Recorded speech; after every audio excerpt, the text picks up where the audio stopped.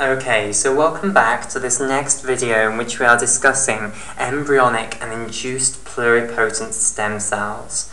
Okay, right, so in the previous video what we saw is that what confers the specialization of a cell is this combination of master transcription regulators that it has. Okay, so each different specialized cell type has a combination of master transcription regulators that keeps it as that cell type basically, okay, and controls the entire expression of its entire genome.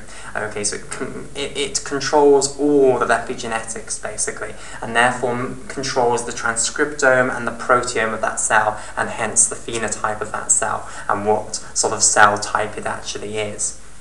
Okay, so basically, we saw that the way this happens is that you have this combination of master transcription regulators, okay, which is self-perpetuating, i.e. it maintains its own expression, and then through the alteration of the expression levels of downstream transcription regulators, uh, it can then influence uh, a much wider jurisdiction of genes, basically, and eventually it can control the entire genome, basically, and uh, control, hence, the transcriptome and the proteome and uh, the phenotype of the cell. We then uh, wanted to look at what the master transcription regulators were for uh, the pluripotent state. So for instance, in embryonic stem cells, which remember these cells derived from inner cell mass cells, okay? And we discussed how there were three master transcription regulators in uh, embryonic stem cells, and these were KLF4, OCT4, and SOX2. Okay, so those were the master ones. Okay, and we discussed how there is this network that maintains the expression of those uh, three master uh, transcription regulators. Okay, then we talked about a few downstream transcription regulators of those master ones. So we talked about c-Myc being downstream of activation by KLF4 and how c-Myc is extremely important in keeping the cell proliferating. Okay, we also talked about this extremely important transcription factor NANOG, okay, which is has its expression activated by all three of the master transcription regulators, and NANOG is involved in uh, controlling the expression of many genes uh, that then confers the phenotypic features of an embryonic stem cell. Okay, so for instance, its shape and other things about it. Okay, and also NANOG is extremely important in uh, stopping the expression of other master transcription regulators which are involved in differentiated states. Okay, so for instance, MyoD was an example of a master transcription regulator which we saw was associated with skeletal muscle cells. Okay, that one would be inhibited, have its expression repressed uh, by NANOG to keep the cell in the pluripotent state. Okay, so now we're in a position to talk about induced pluripotent stem cells. So, firstly, just a few abbreviations. ESCs, whenever you hear someone referring to ESCs, that means embryonic stem cells. Okay? iPSCs, that means induced pluripotent stem cells, and the I is always lowercase compared to the PSCs, which is uppercase. So, induced pluripotent stem cells. Okay, right, so what is an induced pluripotent stem cell? Well, basically the idea is, can we take a somatic, fully differentiated cell and convert it back into a pluripotent stem cell. Okay, and this is the idea behind induced pluripotent stem cells. Well, how do you think you could do this? Well, look at what I've told you about these master transcription regulators of the pluripotent state. Okay, if we were to artificially force a um, a somatic differentiated cell of the body to express these four, uh, sorry, these three uh, master transcription regulators, uh, KLF4, uh, OCT4, and SOX2. Okay, and we can force them to express them by, for instance, retrovirally infecting them with an additional copy of the gene, basically, so that they make more of it. Okay, uh, then would that return us to an embryonic stem cell-like state? Well, yes, it would, because look at the downstream regulator, NANOG here. Okay, Nanog would repress the expression of all the other master transcription regulators which were involved in giving the cell its differentiated state. Okay, it would also increase the expression of the genes which give the cell a phenotype similar to the embryonic stem cells. Okay, and in addition, KLF4 induces this downstream uh, transcription regulator c-MYC, which will give the cells the proliferation property. Okay, so this is the basic idea behind induced pluripotent stem cells. You take a somatic cell, okay, so for instance you could take a fibroblast from the skin. Everyone always works with fibroblasts because they're easy to uh, take a biopsy of. Okay, uh, so you can take a fibroblast from the skin. Okay, what you can do is you can force it to artificially express very high levels of KLF4, OCT4, and SOX2. Okay, so what we're going to do is get it to express KLF4, OCT4, and SOX2 at high levels. And as I say, a way of doing that is infecting it with a retrovirus that will add additional genes for these three factors in, okay, and therefore uh, force the expression of those up. Okay, and this basically gets the cell to completely change. Okay, and what happens to the cell? Well, actually, it goes back to looking just like an embryonic stem cell. Okay, and we call these sort of cells that we've got from somatic cells, which are extremely like embryonic stem cells, we call them induced pluripotent stem cells, iPSCs okay? And they proliferate fantastically. You can keep them in culture, you can proliferate them indefinitely, okay? So what you can do is you can get your cell here, you can put it on a petri dish in a lovely growth medium. You can let it divide and divide and divide. It will produce a whole population of induced pluripotent stem cells, which will all be the same. Okay, you can propagate this on and on. You can give collections of it to your friends and they can all propagate it on so they're fantastic basically. And you don't. What's lovely about this is you can do this from a somatic cell of an adult human okay? So we get around the ethical issues of having to take embryo embryonic stem cells from embryos okay? Which a lot of people object to. Okay, so um, in, that's what an induced pluripotent stem cell is. So they proliferate, which is the, one of the key properties of uh, embryonic stem cells. So that's one of the properties that they share with embryonic stem cells. The other key thing is that they are also pluripotent. Okay, and remember what does pluripotent mean? Well, remember what did it mean in the context of embryonic stem cells? It meant that we could re-inject the embryonic stem cell into uh, a blastocyst and it could participate in the development of any portion of the body basically. Okay, and indeed what you can do is the same thing with these induced pluripotent stem cells. Okay, so again you have to go to mice now, you can't do this in humans. Okay, that would be very, very bad. Uh, so what you can do is you can go to mice, you can take a somatic cell from a mouse, maybe a fibroblast, you can convert it into an induced pluripotent stem cell, it's the same factors in mice as in humans okay? And then what you can do is you can take a mouse blastocyst, okay, so I'll put a mouse blastocyst here, which is totally separate from the mouse that we got the uh, induced pluripotent stem cells from. Okay, so here's the mouse blastocyst, these are the trophoblasts here, here's the inner cell mass cells, Okay, and what we can do is add some of these induced pluripotent stem cells into the inner cell mass. So I'll colour in the original inner cell mass cells in red here. Okay, and then these induced pluripotent stem cells that we're going to add into the inner cell mass, we'll have these in orange. Okay, so here in orange, these are induced pluripotent stem cells that we have now added, uh, which are totally different genomes to uh, the genomes of the uh, inner cell mass cells that we have here. So these are induced pluripotent stem cells. And again, what you will get is a chimeric mouse. Okay, so I'll try and draw the mouse a little bit better this time. Okay, so here's our mouse.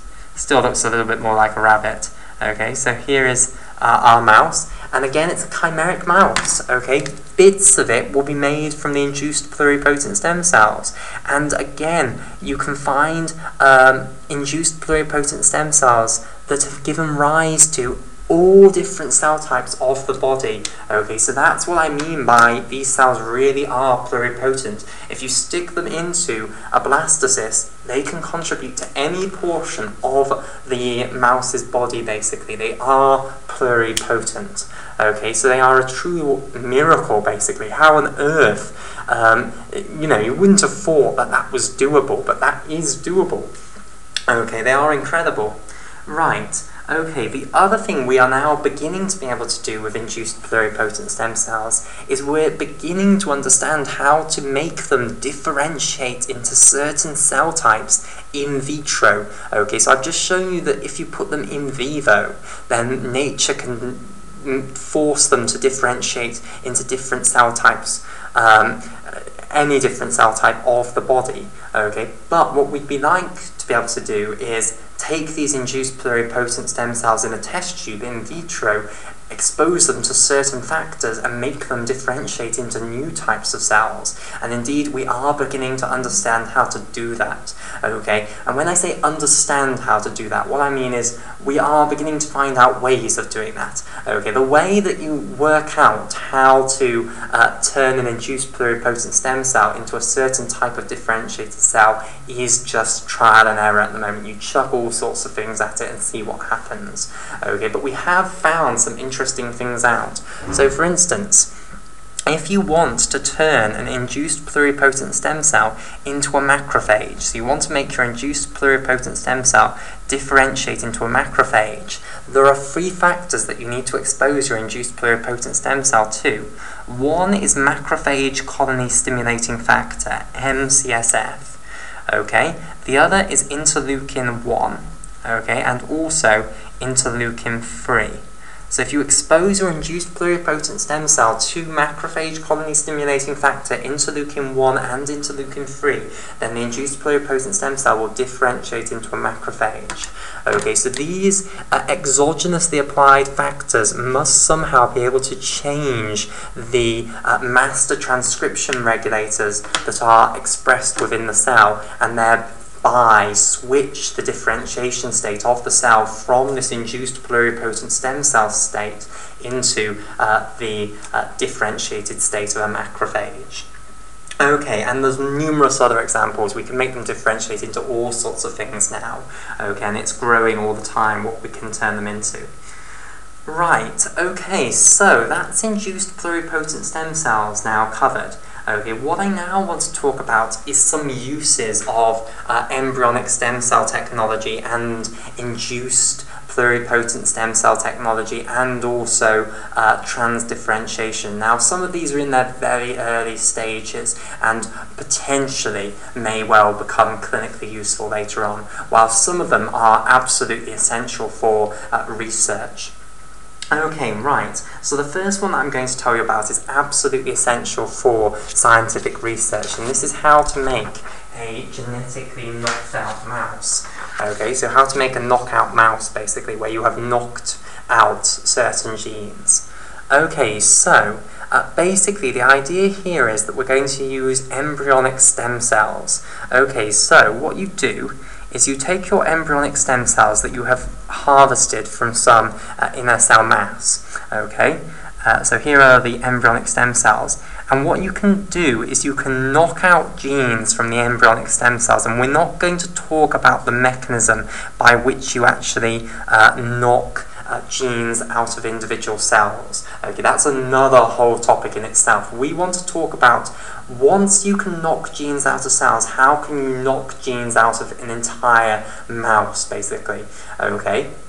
So what you do is you take your embryonic stem cells and uh, you can knock genes out of the embryonic stem cells. Okay, so you now do your genetic engineering on the embryonic stem cells to create embryonic stem cells that are now lacking certain genes. Okay, so you knock out the gene, which I'll just abbreviate down to KO. Okay, so you knock out the gene, and then what you're going to do is you're going to uh, now take these genetically modified embryonic stem cells and you're going to put them into the blastocyst of another uh, embryo, okay, for a mouse. Okay, so again we're going to make one of these chimeric mice in, uh, in the first instance. Okay? In fact, we'll want to make more than one chimera, okay, but we'll come on to that in a moment. So here is our blastocyst, these are our trophoblasts, okay, and again what we will do is add into the inner cell mass uh, some of these genetically modified embryonic stem cells. So again, I'll colour in uh, the initial inner cell mass cells of this uh, embryo in red. And now what we're going to do is add in some of these genetically modified embryonic stem cells here in blue. Okay, so we'll put some of these in here. Okay, now what we will do is we'll put this blastocyst into a mother mouse and it will uh, develop into a chimeric mouse. Okay, so what we've now got is our chimeric mouse okay, uh, which has got certain portions of its body made by these genetically modified embryonic stem cells. Okay, now, uh, the idea here is that what you need is you need to make lots of these chimeric mice, okay, and you need a male mouse and a girl uh, mouse. Um, that are both chimeras, and what you need is for these mice to have had some of their germ cells produced by the genetically modified embryonic stem cells. Okay, so what do I mean by a germ cell? The germ cells are the cells which make the gametes of the mouse. Okay, so they're the cells which either in a female will make the egg cells, or in the male will make the sperm cells. Okay, now some of the germ cells were derived from uh, these genetically uh, modified um, embryonic stem cells here, then those germ cells will not have any of the any genes for the gene, well, any copies of the gene that we knocked out basically from those embryonic stem cells. Okay, right. So the idea is that what you need to do is you need to get a male chimera and a female chimera, such that the male chimera has sperm which don't have any copies of the gene in because they are coming from germ cells which were derived from the uh, knocked out uh, embryonic stem cells. And then you need a female mouse uh, where the egg cells do not have any copies of the gene because they were derived from germ cells which were derived from these uh, genetically modified embryonic stem cells. Okay, then what you're going to do is you're going to fertilize the egg cell that has no copies of the gene with the sperm cell that has no copies of the gene, and then finally you have a zygote which has no copies of the gene basically because the sperm and the egg cells uh, which you used to make it had no copies of the gene. And then what you can do is just put this inside uh, a uh, mother mouse and um, it will develop into a mouse that has no copies of the gene in any of its somatic cells, and then what you've got is your knockout mouse. And knockout mice are used to investigate the functions of a huge number of proteins. Basically, what you do is you knock out the gene for a protein, and then you see what goes wrong, basically, and that gives you a clue as to uh, where the protein is important, and then you can investigate further what has happened in these knockout mice. Okay, right, so that's uh, one use for um, embryonic stem cells. In the next video what I will do is I'll continue this discussion of uses for embryonic stem cells and induced pluripotent stem cells and transdifferentiation.